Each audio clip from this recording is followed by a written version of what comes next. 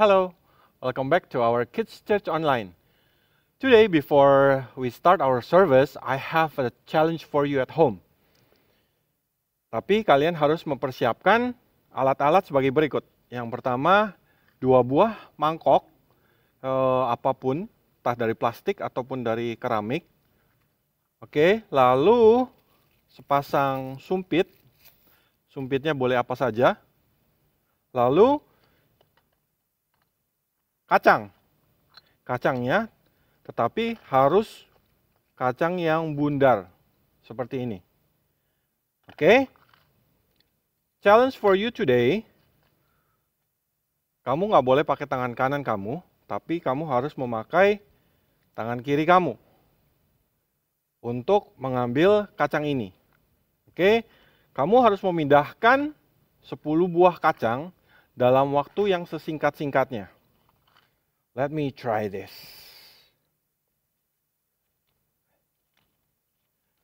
It's hard.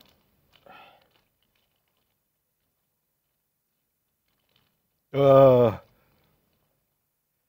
makes me stressful. Ah, I got one. Okay. Try again. Two. Okay sampai 10 buah kacang. Lalu kalian bikin video itu dan upload ke Instagram. Boleh pinjam punya account punya Dedi atau Mami. Atau jika kalian yang preteen punya account sendiri, kalian upload di IG story kalian. Dan jangan lupa uh, tag Every Nation Jakarta. Lalu uh, kalian harus cantumkan uh, hashtagnya First Kids Church Challenge. Oke, okay? dan kalian harus cantumkan power truth-nya, Mr. Prince ingatkan, yaitu in my weakness God enables me to be strong. Dan satu lagi power verse-nya, He gives power to the weak and strengthens the powerless. Oke, jadi kalian cantumkan kedua power truth dan power verse itu. Jangan lupa tag Every Nation Jakarta. Ingat, jangan lupa pakai tangan kiri. Ya, This is the first challenge. Nanti the second challenge, Mr. Prince akan kasih tahu di tengah cerita. Alright, most of us are right-handed. Biasanya kita adalah orang-orang yang terbiasa menggunakan tangan kanan. Jadi kalau kita diminta untuk melakukan hal-hal yang memakai tangan kiri kita, oh we're gonna be so stressful. Karena sulit dilakukan, kita tidak terbiasa. Tapi, in the Bible, ada satu orang yang left-handed karena tangan kanannya lebih lemah, tapi dia justru dipakai Tuhan untuk menyelamatkan bangsa Israel. Namanya adalah Ehud. His name was Ehud. Do you want to know more about Ehud? Mari kita saksikan video berikut ini lebih dulu.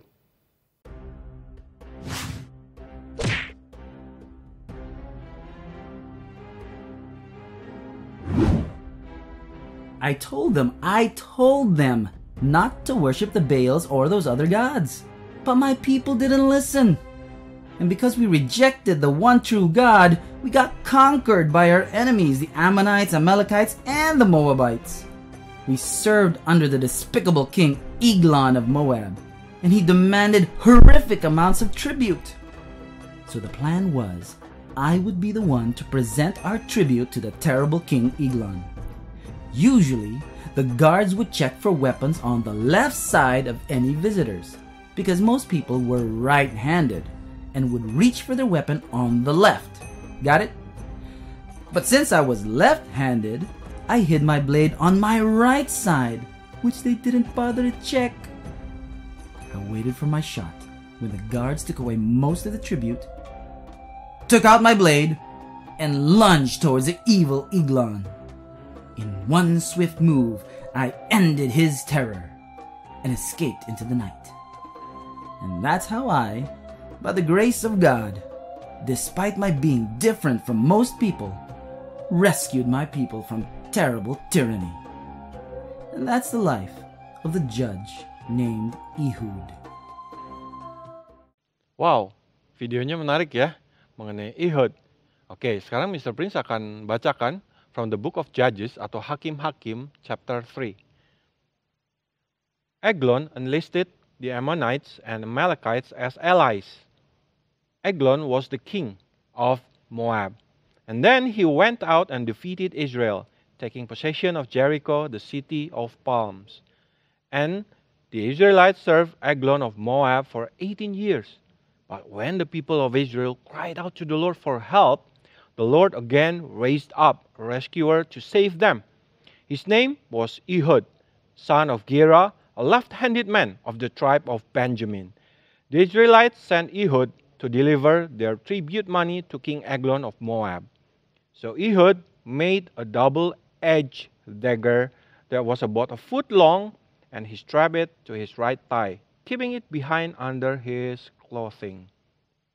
Ehud reached with his left hand, pulled out the dagger strapped to his right, right thigh, and plunged it into the king's belly. Then Ehud closed and locked the doors of the room and escaped down the latrine. When he arrived in the hill country of Ephraim, Ehud sounded a call to arms. Then he led a band of Israelites down from the hills. So Moab was conquered by Israel that day, and there was peace in the land for 80 years. Ehud digambarkan di Alkitab sebagai orang yang terbiasa menggunakan tangan kirinya. Bahkan the Bible scholars mengatakan bahwa di original teksnya Ehud tangan kanan Ehud sebenarnya sedikit tidak normal atau tidak sempurna. Dan zaman itu, sewaktu itu, menjadi orang yang terbiasa menggunakan tangan kirinya itu dianggap sebagai orang yang memiliki satu kekurangan or disability. Because most of equipment and weapons are made for right-handed people. Misalnya gunting, zaman sekarang juga masih sama. Ada beberapa buatan gunting yang uh, dibedakan tangan kanan dan tangan kiri. So let's learn from Ehud's story how God has equipped people for his purposes.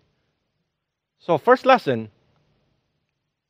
Tuhan telah memberikan kita banyak kemampuan untuk melayani dia. Ehud membuat pedang.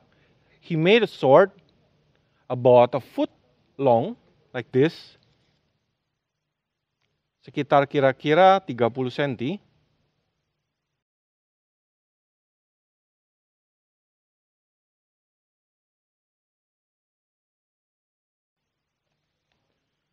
And strap it to his right thigh, hidden under his clothes, and went to visit King Aglon. Biasanya, the guards sewaktu mereka mengecek orang-orang yang datang untuk menghadap raja, mereka untuk mencari the hidden weapons, mereka akan mencari mengecek di sebelah sisi sebelah kiri. Karena the warriors akan menaruh senjata mereka biasanya di sisi kiri mereka. Sehingga mereka akan menarik pedang itu dengan mudahnya. Since they were right-handed. So Ehud was left-handed. He, he hit the sword on his right side, and the guards did not check it. He was able to face the king with a weapon. So, what did this reveal about Ehud? Apa yang kalian pikirkan mengenai Ehud? Yes, he was smart. He was also brave. Ehud berencana merencanakan untuk pergi ke tempat the Moabites untuk membunuh the, the leader of the enemy all by himself. Betapa beraninya dia. Walaupun dia tahu he had a disability, but God had given him other abilities like intelligence and bravery. Sampai dia bisa menggunakan itu, kelebihannya itu untuk memenuhi God's purpose in his life. Oke, okay, sekarang I'm gonna give you the second challenge. Yang harus kalian siapkan adalah tetap dua mangkok kosong, Lalu sumpit yang tadi, kali ini bukan kacang, tapi berbeda adalah sebutir telur. Oke, kalian taruh telur itu di mangkuk yang satu, menggunakan tangan kiri kalian, lalu berusaha memindahkan telur itu ke mangkok satunya. Nah, kurang lebih seperti ini. Yay, I did it. Oke, kalian pindahkan. There you go. Lalu, jangan lupa bikin video, upload ke IG story kalian, tag Every Nation Jakarta, kasih hashtag the uh, second Kids Church Challenge. Dan jangan lupa cantumkan power verse dan power truth-nya ya. Alright. The second lesson of the day. Tuhan menggunakan kelemahan kita untuk menunjukkan kekuatan Tuhan. God used Ehud's weakness to win a war. Even if Ehud was an enemy, the guards did not suspect him because of his disability. Jadi, the guards tidak menyangka bahwa Ehud membawa senjata, membawa pedang itu. So what seems useless is actually not. God, God also has a purpose for our weaknesses or problems. Like, for example, you have experienced being bullied. Mm, I remember there was a girl. She's beautiful, but she's unique. She has uh, more hair on her arms okay, more hair compared to other common girls. And then when she was 10 years old, there was a boy, her friend, bully, bullied her. And sometimes the boy called her, hey, hairy girl, or hmm, it looks like a monkey. Well, if you are watching this today, Mr. Prince would like to remind you that you are special. That experience will actually make you think more strategically so you can avoid similar situations, make you stronger, and even let you minister to others who have been bullied too. Okay? So, Ehud had a disability. Yes, dia harus terbiasa menggunakan tangan kirinya. Di mana orang-orang waktu itu tidak terbiasa. But that did not stop him from being serving God. He was willing to be used by God even if people probably thought differently. That's why no matter what weaknesses, tidak peduli apapun kelemahan atau ketidakmampuan kita, let's just offer ourselves to God to be used by Him. As we do so, we will discover that we have so many other abilities, and even our disabilities can also be used for God's glory. Jadi kalian jangan jangan takut jika kalian merasa saya tidak bisa ini, saya tidak bisa itu. Jangan takut karena Tuhan bisa menggunakan kekurangan kalian itu menjadi kekuatan buat God's purpose. So, I have two questions for you today to discuss at home with your siblings or your parents. Yang pertama, what are your strengths? What do you think you are good at? Okay? And the second question, what is something you would consider your weakness and how do you think God can use that to show his strength? Dan pesan dari Mr. Prince, it's normal buat setiap kita merasa insecure atau lemah dalam waktu-waktu tertentu. Tapi hal yang paling penting buat kita adalah tidak fokus kepada apa yang hal-hal yang tidak bisa kita lakukan, yang kita sulit untuk lakukan. Jangan fokus ke situ, tapi fokus kepada Tuhan Yesus yang bisa membuat kita menjadi mampu untuk melakukan segala sesuatunya melalui Dia. The question is not what it is that we do not have, but what it is that Jesus has and how he can show himself to other people through us. Ketika kita menyadari bahwa Tuhan Yesus telah membuat kita sempurna dalam semua kelemahan kita, and that he can show his strength through our weaknesses, kita akan mendapatkan satu peace, satu freedom, knowing that we don't have to prove ourselves. Kita menemukan uh, peace atau rest in our weaknesses.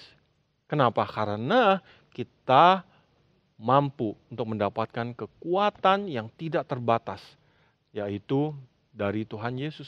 Mr. Prince berharap bahwa kalian tetap fokus pada kekuatan kalian, pada fokus pada Tuhan Yesus yang bisa memberikan kalian kekuatan. So let's pray. Bapak dalam surga, saat ini aku berdoa untuk setiap anak-anak yang menonton hari ini Tuhan. Aku berdoa bahwa setiap mereka menyadari bahwa hal-hal yang tidak mereka hal-hal yang tidak mampu mereka lakukan tidak membatasi Tuhan panggilanmu di dalam hidup mereka. Aku percaya Tuhan kau akan membuat semua kelemahan-kelemahan mereka itu menjadi satu kelebihan Tuhan. To fulfill your purpose in the future Tuhan. Aku berkati setiap anak-anak Tuhan bahwa mereka akan mampu Tuhan conquer their weaknesses Tuhan dan fokus on you Jesus. Thank you Lord in Jesus name I pray. Amen. Jadi sampai di sini dulu. Jangan lupa upload dua challenge tadi. Yang pertama video mengenai kacang itu, yang kedua video mengenai telur. Oke, jangan lupa menggunakan tangan kiri ya, upload di IG dan tag Every Nation Jakarta. Hashtagnya jangan lupa yang pertama First Kids Church Challenge, yang kedua adalah Second Kids Church Challenge, dan cantumkan power verse dan power truth-nya ya. Oke, okay, that's all for today. I'll see you again next week. Bye-bye.